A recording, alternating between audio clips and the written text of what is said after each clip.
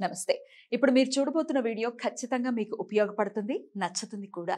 మరి మీకు నచ్చిన విషయం నాకు తెలియాలి అంటే ఈ వీడియోని మీరు లైక్ చేయాలి షేర్ చేయాలి అలాగే మన ఛానల్ని సబ్స్క్రైబ్ చేయాలి. మీ సపోర్ట్ని నాకు అందిస్తారు కదా.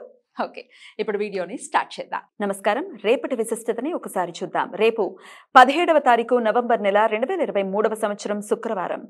శ్రీ శోభకృత్ నామ సంవత్సరం దక్షిణాయనం శరతృతువు రేపు కార్తీక మాస శుక్లపక్ష చతుర్థి తిథి ఉదయం పదకొండు గంటల మూడు నిమిషాల వరకు తదుపరి పంచమి తిథి పూర్వాషాఢ నక్షత్రం రాత్రి ఒంటి గంట పదిహేడు నిమిషాల వరకు తదుపరి ఉత్తరాషాఢ నక్షత్రం.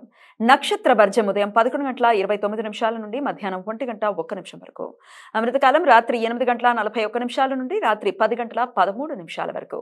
హైదరాబాద్ ప్రాంతం వారికి రేపు సూర్యోదయం ఉదయం ఆరు గంటల ఇరవై రెండు నిమిషాలకు సూర్యాస్తమయం సాయంత్రం ఐదు గంటల నలభై నిమిషాలకు చంద్రోదయం ఉదయం పది గంటల ఐదు నిమిషాలకు చంద్రాస్తమయం రాత్రి తొమ్మిది గంటల పదిహేడు నిమిషాలకు. అభిజిత్ ముహూర్తం పగల పదకొండు గంటల ముప్పై ఎనిమిది నిమిషాల నుండి మధ్యాహ్నం పన్నెండు గంటల ఇరవై నాలుగు నిమిషాల వరకు. దుర్ముహూర్తం ఉదయం ఎనిమిది గంటల ముప్పై ఎనిమిది నిమిషాల నుండి ఉదయం తొమ్మిది గంటల ఇరవై మూడు నిమిషాల వరకు. మరలా మధ్యాహ్నం పన్నెండు గంటల ఇరవై నాలుగు నిమిషాల నుండి మధ్యాహ్నం ఒంటి గంట ఎనిమిది నిమిషాల వరకు.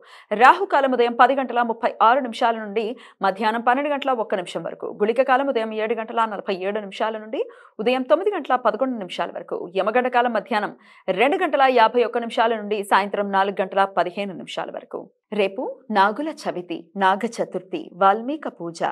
వివాహితులు రేపటి రోజంతా ఉపవాసం ఉండి స్త్రీలు అత్యంత భక్తితో నిష్టగా పాముల పుట్టలో పాలు పోసి దగ్గరలో ఉన్న నాగుల విగ్రహాలకు పూజలు చేస్తారు.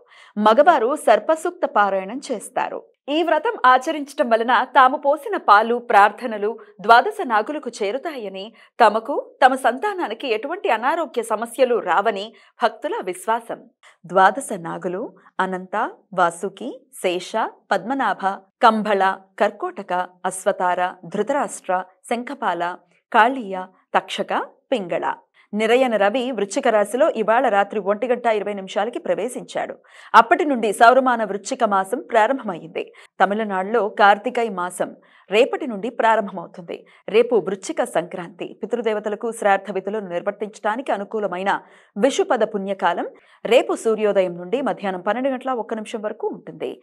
శబరిమలలో మండల పూజలు రేపటి నుండి ప్రారంభమవుతాయి. ఈ సమాచారాన్ని మనకందించిన వారు మేడికొండూరు విశ్వనాథ్ ప్రసాద్ గారు. ఆయనకు కృతజ్ఞతల్ని తెలియజేస్తూ నారాయణ స్మరణతో సమస్త సన్మంగళాన్ని భవంతు. నమస్కారం.